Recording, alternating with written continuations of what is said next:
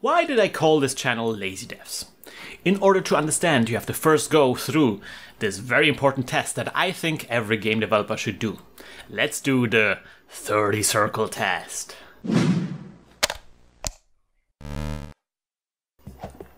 Hmm, hi everybody, I'm Christian from Lazy Devs. Welcome uh, today we are going to do another like theoretical part and we're going to do um, a 30 circle test. Uh, and it's a test that I really like to do with my students um, at the beginning of their, their career. Uh, it's a test I really like to do as a preparation for game jam. It's really great as a preparation for a game jam. Um, but I think it's also ge like generally like a good test that I think every game developer should do.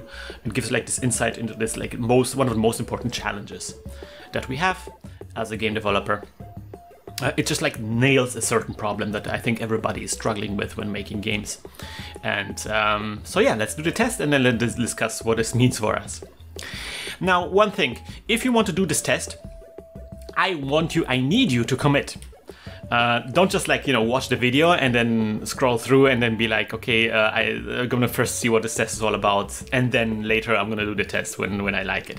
Uh, this is absolutely a test that is used up. That's kind of like a, uh, spoiled. And uh, if so, if you know how this plays out, it's, it won't be as effective anymore. Uh, it kind of won't work anymore. And equally, if you know this test or if you have done it already, I don't want you to be in the comment section and, and spoiling it to other people. Uh, just like let people have their experience. I think this is very important and valuable. And in fact, if you are about to do this test, I don't want you to actually even look at the comment section. Just let's let's go for it, okay? Now, disclaimer: this is not a test I came up with. I'm not that smart.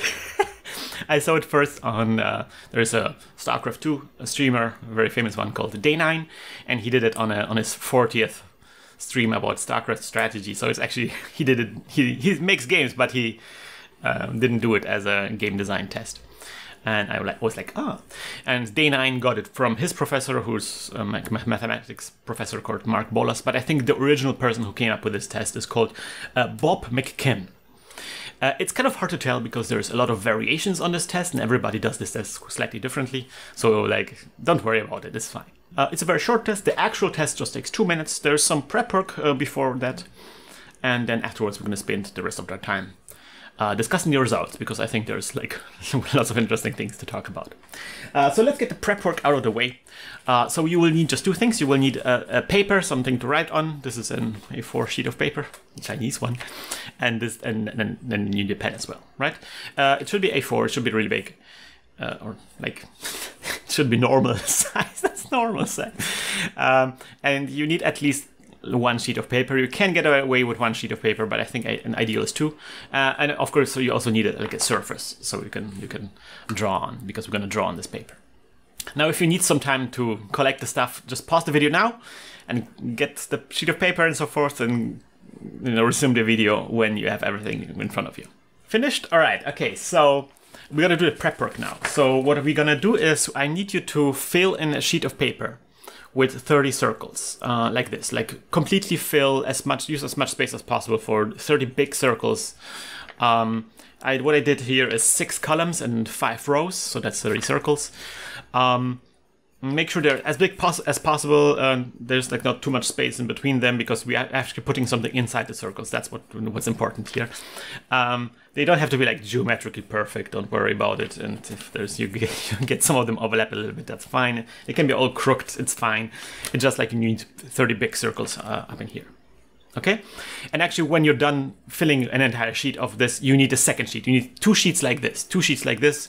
And again, if you have one sheet of paper, you can just do it on the back side. It's fine. Uh, but yeah, two sheets um, of, of 30 circles, two sets of 30 circles. So start with this now. I want to start doing this right away. And then while you're drawing the circles, I'm going to explain you some more stuff because it's a boring task. and then there's another another step to, to this entire sequence. Okay, so now I'm going to do boop. Okay, so this is, uh, I have to use paint here. I don't have any pen or anything. So in a second, uh, after when the test uh, has begun, it hasn't begun yet, but when the test begins, I'm going to ask you to fill in those circles. And so you might be asking yourself, what does filling in circles mean? And um, so yeah, I'm going to like do this in front of you so you, you know what we're talking about. So like I'm going to try to fill in the circle. What I'm going to do, I'm going to do a pizza, right? I'm going to I'm going to turn the circle into an object. That's how I'm going to fill this circle.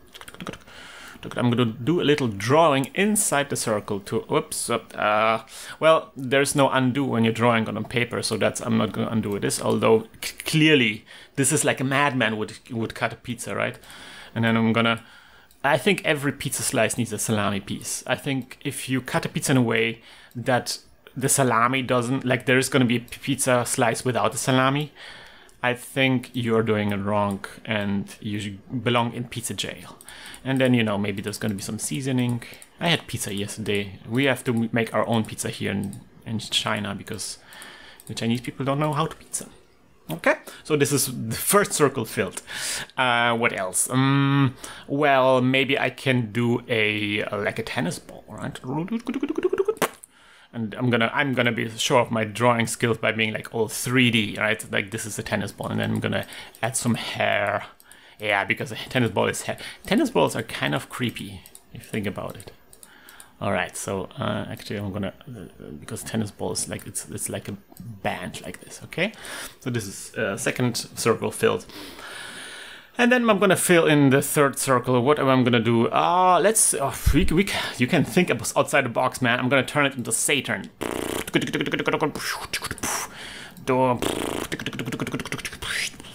look at me, I'm all creative. It's a creative exercise, right? So I'm gonna get all creative about this.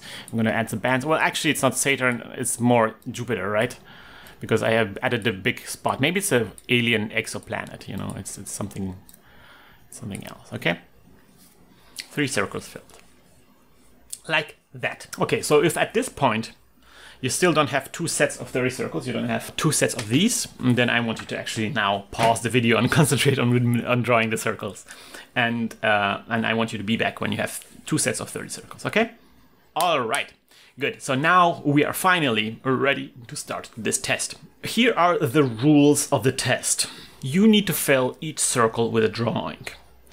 Second, each circle must be different. You cannot just put the same thing into each circle. Um, you have only 60 seconds and I want you to draw as many circles as possible in this time. The more, the better, right? It's a quantity thing. Um, absolutely no cheating. Um, the moment the time runs out, I need you to drop the pen right there. You're not allowed to finish, you know, the drawing that you were working on when the timer stopped. Like it's it's whatever you have there, you you you leave it at that, right? It's not really complicated test. We're just like filling in those circles. Again, 60 seconds time. So I want to get ready. I want to put the paper in front of you, you know, I want to take your pen. All right, ready? Three, two, one, go. And this is going to be the part where I'm actually doing a timer for you. So you, uh, you should be drawing your circles now. That's that's that's what's the goal of the test. And I'm going to sit back and sip my coffee. Mm. I'm going to actually help you out things that you can draw on the circle. I think like a lot of food stuff is good. Maybe cookie. Cookie would be good. Uh, we are at, at uh, 30 seconds at this point, so we're halfway. Your your your time is halfway up. Oh, and I think you could draw a bubble, my baby girl. She loves bubbles. And we're approaching 40 seconds now. Uh, you could do like an apple or an orange. I think these are very round, or like a watermelon. 10 seconds left. And we're almost there. Five, four, three, two, one. Stop! Stop whatever you are doing. It's done. It's done, Z's. The test is over. Now I want you to stop and see how many circles you did. How many circles did you fill out? I just want to, I want you just to count them. How many have something in there? All right? So what usually happens is when I do these tests with my students is like usually they end up with with numbers around the 10 circles mark, right? There's a huge variation, but usually 10 circles is kind of like a median, I guess. Uh, some people did 15, some people hit 20. Uh, some manage only three or four, and you know that's fine. It's only you know it's it's just 60 seconds, right? I did around 10 myself when I did my, my, my first try. And so the question here now is why? Why did we do only so few circles? There's 30 circles there, and the more the better, I said, right? And you, you, we are all perfectly capable of filling all 30 circles in 60 seconds. Why didn't we do it? Here, let me show you. All right, so I have a blank sheet of paper. I'm going to start filling circles. One, two, three, four, five, right? Done. Five circles done. Or um, let me do something else. Maybe A, B, C, D, E. That's also a solution. Or maybe something like, you know, a, a dot, two dots. That's going to be a dice dots, you know, uh, three dots. It's astonishingly different, like five dots. I'm going to, I skip the four. I'm going to do a four dots, you know, like this. There's just so many ways we can fill in those circles in a time efficient way, and we just didn't do it. We decided to to spend our time, you know, take take our sweet time filling in those circles, and we failed filling in all 30 circles. We ended up somewhere, you know, around 10 while it was perfectly possible to fill in 30. Now that's a bit cheating, but I actually want you to experience this, right? I want you to go through this test again, and we're going to discuss what it means again. I know it feels like cheating, right? Uh, I want you to get the second sheet of paper that you have and go through this test again. We're going to go, we're going to go through this entire test again. I'm going to give you full 30, or 60 seconds, and this time I want you to actually try to actively try to hit 30 circles using a strategy like this. It, it makes sense. Like there's a reason for why I'm doing this. So just indulge me for a second we're to do this test again, and then we're to just discuss the results, okay? So get your pen ready. Three, two, one, go. So this is, test is really weird because if you know what you're doing, it's really simple. But if you don't know what you're doing, if you're just like going by your guts, it seems impossible. I say like, you you can fill in 30 circles, and people are like, what? I've been drawing as fast as I can, and I only managed five. How is 30 possible? You're what you're asking is the impossible, you know, like like in Star Wars. Uh, so yeah, uh, 25 seconds are over already. Uh, now we are at the halfway point. And actually what happens is the second time around is a lot of people get finished early. So if you're already finished early, something you can do is you can go back and touch up some existing circles. You can, you know, make them more pretty. It's fine. Uh, so 15 seconds to go. Uh, 10 seconds to go. Five, four, three, two, one, stop. All right.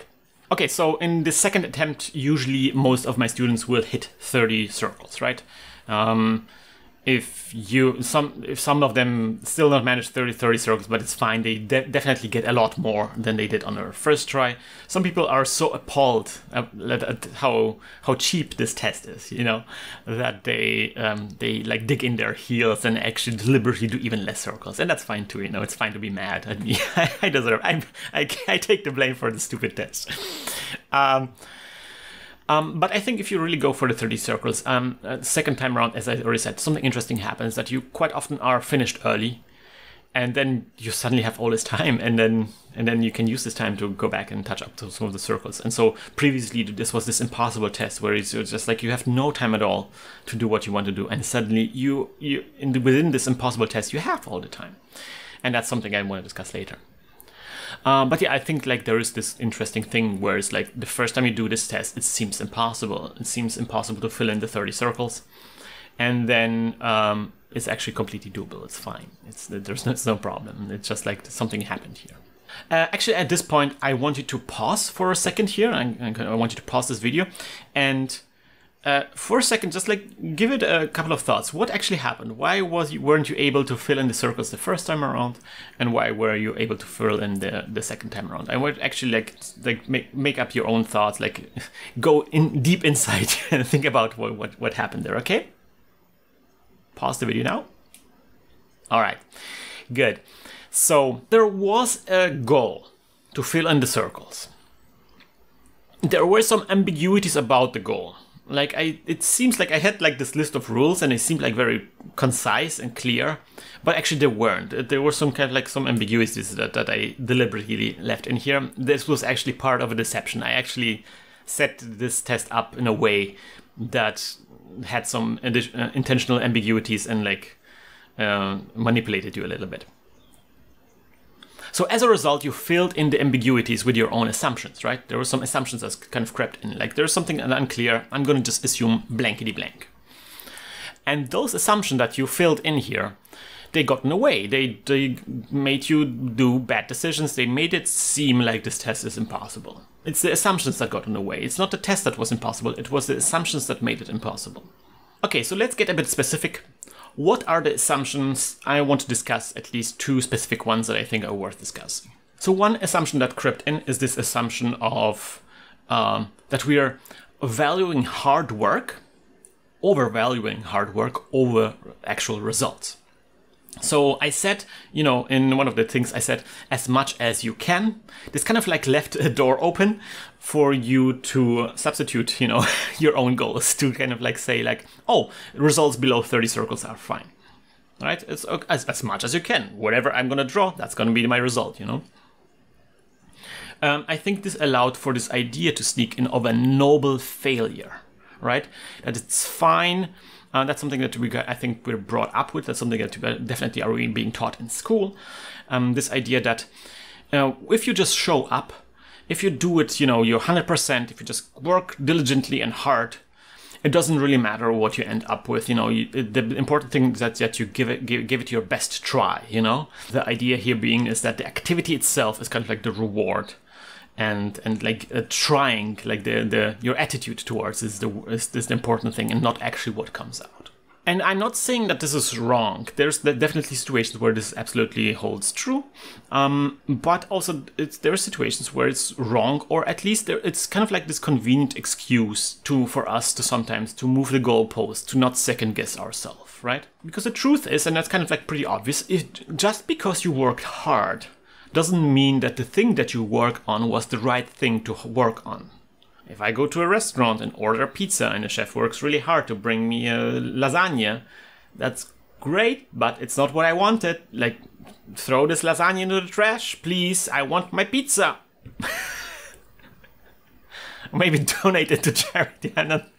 so in this case, in the 30 circle test, the first time around, maybe you work hard on it and you really tried, uh, and your work ethic was good, you work hard on filling in 30 circles, but your decision on what to invest your time in was wrong. Like you invested a lot of time doing things that didn't really move you towards your goal, that kind of like um, held you up a little bit. So your initial planning was wrong in a way that actually made you waste your time, made you waste your work. And I would claim that this is actually worse in, in some ways than bad work ethic, right? It's worse than being lazy you'd rather be a lazy person that gets their priorities straight that you know doesn't do much but what the thing that they do is the thing that actually matters. Uh, you'd rather be that person than some kind of like crazy workaholic that just like does everything and, and works really hard and works themselves to the bone but none of the things that they work on actually matter. There's this um, saying that i really like work smart not hard right and I think that, like this attitude there's that that prevails that you know any problem can just solve if you work hard on it. You know, like ganbatte, you know, just just do it. You can you can do it. Um, I think this attitude quite often can uh, has a dark side, and that that dark side is kind of like a denial. The denial that you as a person that you have limits, that there's just so much you can do in a given day, in a given week, in a given month, and so forth. Right? That there is there is just something finite to the amount of stuff you can do. That's seems disempowering, but I think it's like a very important thing to realize in order to not to waste your time. And I think this 30 circle test is a really good way to disprove this uh, assumption that you know that working hard will solve any problem. Because in this 30 circle test like what if you work a little bit harder right? What if you pushed through? Like what it didn't if you didn't change your attitude and didn't change your strategy? What if you on your second time around you were filling in the circles the same way but just like trying to do it as fast as you can right um, it wouldn't really move the needle. You would maybe get three more, five more circles in, but there's like 30 to go, right? It wouldn't really change much. So the 30 circle test is an example or a, or a situation where working harder is not the solution. It's just like, that's what, what I like to say. Hard work is not enough. Not in the sense that you need to work even harder, but in the sense of that's just completely not the way to solve this problem. We have to actually think laterally. We have to actually add uh, something else than just hard work to solve this problem. So that was assumption number one that I think crept. And assumption number two um, that crept in is like this unsustainable perfectionism that I like to call, which oh man, that's a that's that's a term. So um, what happened here? You see me draw, draw, this beautiful elaborate drawings, right? Like the pizza and the tennis ball and the and the Saturn, right? And they were so beautifully um, uh, elaborate and you immediately kind of like you assimilated this idea like oh this is what this drawings is supposed to be like you kind of planted this idea in your head that this is what the drawings are supposed to look like uh, without even considering that I am operating under very different limitations that you are operating. I wasn't on the clock.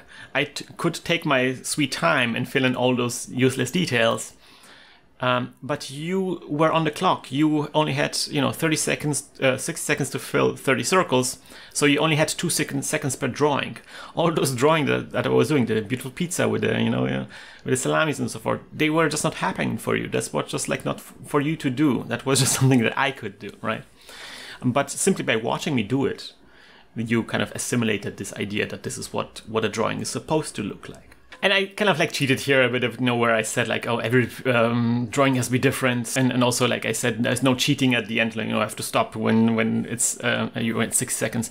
It kind of like introduced the idea that there's going to be scrutiny that somebody will pay attention to to what you're drawing you know and I think this is just like another facet, another side of this of this noble failure idea. Uh, in this case, the only way to fill in the 30 circles is to like cut corners like crazy. And I think this is something that we are like really paranoid and, and afraid of getting caught on. Like this is not something that we want to be, be in a situation in where you do something really really quickly and and then somebody's like wait a minute uh uh uh what you're doing there you know like this is we're really self-conscious about this kind of stuff to the point where we actually often like to choose to go down with the ship to do the noble failure you know to to be like oh I, I haven't finished but the stuff i have is really good you know? Like um it's that's that seems more acceptable than to be like oh i'm finished and then somebody's like oh wait a minute what what did you do there? Like are, are you handing are you seriously handing this in? You know so yeah, we'd rather have the noble failure there, right? And so yeah, I gotta be honest, when I did this test uh, on my own for the first time, it hit me really hard because I realized, wow, uh, this is this like this perfect analogy to how things work when I work on, on my own project, when I work on my own video games. It's like this is exactly what happens there as well and it's like this perfect analogy but instead of you know spending a year of coming to this conclusion i actually do it like in this one minute time i can really observe what is happening and and question my assumptions here. And i think like a lot of students will like often object is like wait a minute this is this test says nothing about me like it's just some it's it's been rigged. The entire test is like the, the deck was stacked again stacked against me like this is saying nothing about me this is just like some some trick that you pulled off here right?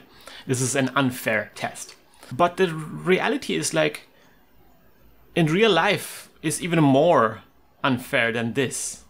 All these ambiguities that I set up for you, they will be there in real life when you work on your own games as well, and they will be even crazier and harder, and this, the situation will be stacked against you even harder. So nobody will actually tell you how to make your game. Nobody will sit down with you. Ah, wait a minute, you have to focus on this, and you have to focus on this, and you have to watch up not to do this. You know, nobody will guide you through a through your video game. You kind of have to make your own decisions there, and these are wide open for all sorts of really bad um, uh, assumptions to creep in and prevent you from finishing your game. This is an imperfect analogy, actually. So let's go, go back to those two assumptions that I talked about. How we overvalue hard work, right? So what I often see is um, independent game developers pick this these crazy pie in the sky projects without even considering how those projects will get finished. They just like have a great idea and they just like have this idea that if they work hard on this idea, eventually it will be great. Because we have like this assumption that if you work hard on something, it will be automatically good. That uh, hard work automatically leads to good places. And I think this is also often fueled by the media. So, like, here's an article that just I just saw this just came out recently. One man's 60-year journey to release an MMO made entirely by themselves. Right? Like, this is a story about a guy who made an MMO, and it took them 16 years. He started when he was 10 year old. And I think this is bad and I, am not talking about the actual game, like I haven't played the game, so I cannot really tell. To take 16 years to develop a game is not a healthy, sustainable way to make games. This is not how game development should work. If you mm, designed a game and it took 16 years to develop the game, then th- there was a design mistake there. You make a huge mistake. You didn't design with the available resources in mind, right? You didn't consider that you were just one person. You didn't consider how much it took. It was a huge flaw in your design. This is bad. And the only remarkable thing here is that despite this huge flaw, you actually got finished. That's the only remarkable thing that that you did it in spite of the flaw. This story is really only noteworthy because it's such a freak outlier. It's just like this freak accident that just happened, right? It's like somebody uh, climbing Mount Everest barefoot, right? It's like, wow, okay, wow, he did it. Good for him. Weird, but okay, it's not an aspiring story, right? This is not something that we should encourage people to follow up on, you know, like, oh, you should do this as well. No, this is not what climbing mountains should be like. You shouldn't climb mountains barefoot. I don't think so, at least. You probably shouldn't climb Mount Everest in the first place. But it, I'm just saying, like, this is not something to to look up to, right? And I think I really like the 30 circle test here because it really um, it it makes us think about the budget, about the constraints and that's something that that a lot of independent developers not, are not doing. They're not thinking about budgets, especially if they're working alone. You have this like this idea, you know, you maybe you live with your parents, or maybe you work on your game in your free time. You don't think um, of, of yourself as having a budget. A budget is something for you know a big company that has to pay wages, but you're like this free independent spirit, you know, just pursuing your dreams and doing your thing. And I'm, I'm not saying that it's a bad idea. I don't want to take that away from you. That's that's really fine.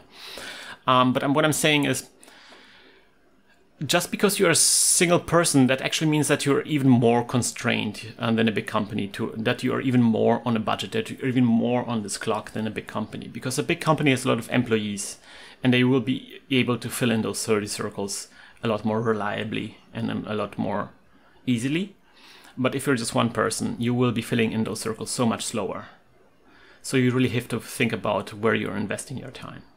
And if you're not really don't, are not the type who plans ahead, who makes like a schedule and so forth, that's fine. But I think it's still worthwhile every now and then to sit back and think and you know zoom out and think about okay where am i? How am i doing? How far down the 30 circles am i? Am i even is the thing i'm even working on right now is that actually something that will be bring me closer to the goal? Is there maybe some kind of assumption that i can challenge? Is, is something i can change about the project um, that will allow me to finish this this this quicker, right? The 30 circle test um, helps us to think more about the goal of the work rather than the actual work itself. The actual work itself is not inherently meaningful if there is no result. And this leads me to like the second assumption that we have, like this this unsustainable perfectionism. So eh, as I talked about how you know you imitated me drawing the circles, this happens in video game development all the time uh, what a good game is is defined by the games that are out there. You look at the games that are out there and you're like inspired by them and you get hyped and you want to be making games like this. You see some games like, wow, this is something I want to be doing. Um, but what you don't think about is how those games that are already out there, that are quite often done into very under very different circumstances with very different limitations that the ones that you operate in. So this is a, like a typical post here. Uh, I found it on a roguelike subreddit, right? And I don't want to put this guy on blast. It's, it's fine. It's just like something that's very typical. So this guy is like first year student, first game they're working on, and he wants to make a roguelike, uh, and he's inspired by Enter the Gungeon, but it's supposed to be first person, like 3D, right? And okay, cool, right. Um, so this game works alone. Uh, Enter the Gungeon was made by six people uh, four full-time ex-EA employees and two part timers, and it took them two years. So let's say five people, right? Uh, if he wants to just copy uh, Enter the Gungeon, it would take him 10 years. Probably a lot longer because he is he just doesn't have any experience. He is he is not an ex-EA employee. And also he wants to make it in 3D, so that's even more than than that. So it's like what, 15, 20 years? Like this is some crazy project. How are those circles ever going to get filled for him? If you are going to fill in your circles in 60 seconds, then your circles just can't look like the circles of you know some AAA studios. You have to adjust accordingly. You have to challenge your assumptions. You have to develop your own idea of what the circle is supposed to look like. So yeah, this is what leads me to this name, lazy devs, right? There is a thing I like to say. Making games is impossible. Making games is impossible like filling in those 30 circles. It's impossible. It's actually impossible. It's impossible unless, unless you come up with some kind of trick. Unless you come up with some kind of way to skirt around the constraints. Unless you do this kind of like, ah, ah, ah, but you didn't say Simon says, you know, some kind of technicality that you can leverage to make the impossible something that you can actually maybe achieve. And as I said, this is hard to do. This is very hard to do because we are afraid getting caught cheating like this. We are afraid of the scrutiny. We are afraid that somebody will call us out on this. We are afraid of being called out being a lazy dev. That's right, that's the term, right? That's the term that often comes up in online discussions It's like this final nail in the coffin of all those broken projects, all those unfinished projects that that made us stick to our bad assumptions and made us not fill in the 30 circles because we were afraid of being called out being a lazy dev. Now, let me spell this out. Lazy dev is like peak armchair game development. It's a completely made up term. It's toxic and stupid. It's invoked by people who have just no clue of how game development works. It's literally like, you know, there is an issue, I don't know how game development works. I guess the developers just didn't do it. Just didn't do it because they're lazy. It's this complete bankruptcy in imagination and empathy. It's like this complete intellectual surrender. Playground logic. Even though the term is just completely uh, empty, it does feed into real fears and, and does some real harm. So that's why I was thinking, you know, why not turn this poison into some kind of medicine, right? Why not just reclaim this uh, um, this term? Why not turn it into a banner to rally behind? Why not embrace this so it's something that can't hurt us anymore because we have accepted this, right? And so that's why I call this channel Lazy Devs. I think a lazy dev is actually something worth aspiring to. And I think the 30 circle test shows it. A lazy dev will fill out those 30 circles. A lazy dev will find a way. That's the kind of mindset that it takes to fill in the 30 circles, and that's the kind of mindset that it takes to finish a game. That's the kind of mindset to not just to do something easy, but the kind of mindset that it takes to turn something that's impossible into something that's barely doable. So yeah, there you have it. That's why I like to do the 30 circles test um, with my students. Um, I like to do it to show them that, that, as I said, you know, making games requires more than hard work. And I don't, don't mean like harder work even, but um, something beyond hard, hard work, something that requires kind of like a radical mindset, putting everything on the line, um, especially your own assumptions in favor of, you know, uh, of the game. And assumptions are really hard to put on the line. Like assumptions are really hard to see in the first place. And even if you see, they're difficult to examine because we hold on to them. We that's that's what we build ourselves on, right? And then challenging those assumptions even harder, right? Um, because we are afraid of finding out that something that we hold, uh, you know, true and dear to our heart is actually some kind of like self-delusion, right? This is this is something that's really hard to do, and it's so much easier to just pull in another all-nighter into the project, right? That's just so much easier just to stick in with a plan and continue on, right? So now to finish this up, I just like three leftovers that quite kind of didn't really fit in that I want to discuss. First, um, remember how I said um, that game development was a lot more unfair than the 30 circles test, that real life was a lot more harder than the 30 circles test. And in one way in which game development is kind of harder than the 30 circle test is in game development, you actually don't know how many circles there are until you get very close to the end. So imagine doing this test again for the first time. But imagine not knowing how many circles there are, right? How would that feel? Imagine this, like you would like fill in maybe six circles and the time is over. And then like, my gosh, I didn't did I didn't fill it, I didn't complete the test. How many circles are there? Maybe there are eight, you know? Maybe there are ten? What if there's ten? And then you do this test again and you hit ten and it's like, what?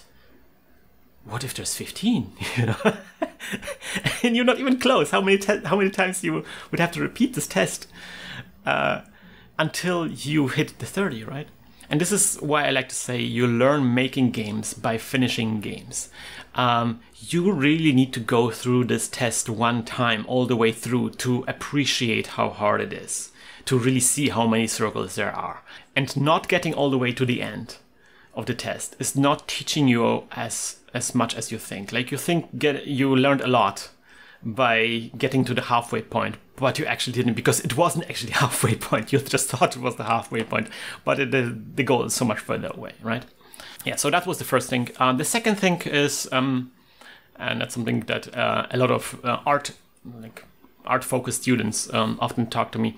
Um, they, they, this test often discourages them because um, you know, I force them to do ugly circles. They like, you know, they art oriented. They like to do pretty things, and then I say like, no, doing pretty things is bad. You have to do those ugly things. You have to fill in the circles in an ugly way. Uh, that's how you get finished. And they're like, okay, well, that set up sets them up into this um, very uncomfortable situation where uh, what I'm saying to them is basically they're not allowed to do the pretty things that they're signed up for, and they just sign up for, to make pretty things. And I'm saying like this is not possible there's something to it. Like their their concerns are valid, right? Um, when working on in production constraints, you know, you often have to do like these hard payoffs, and they always hurt. Uh, you're not you don't never have as much time as you hoped you would as a, as a especially as an artist, right? You have to compromise a lot, and that hurts. But I think also there's a silver lining, and that's why I like to go through this test a second time around because of the thing I mentioned that that happens where you know sometimes you finish early and then within this impossible time constraint, within this thing that was previously unthinkable, you know, like this isn't just impossible to finish. Suddenly you have carved in this little island of calmness, like this little couple of seconds where you are free to really choose on what circles you, you can you want to focus on. And you don't have the time to make every circle beautiful and nice and beautiful.